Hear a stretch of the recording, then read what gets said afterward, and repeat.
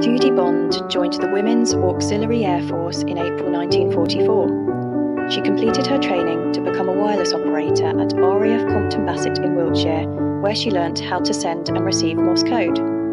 Judy then served at RAF Chicksands in Bedfordshire, where it was her job to tune into a German group, including a controller and four subcontrollers, who each had about three other stations under their command.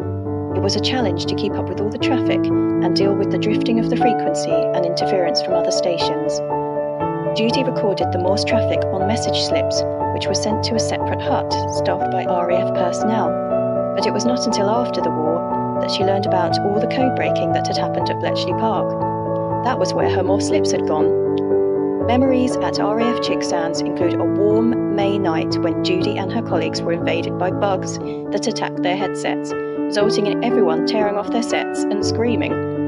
On VE Day, after changing into Best Blues, Judy and a friend hitched a lift on a milk lorry to London. There, they joined in the celebrations outside Buckingham Palace.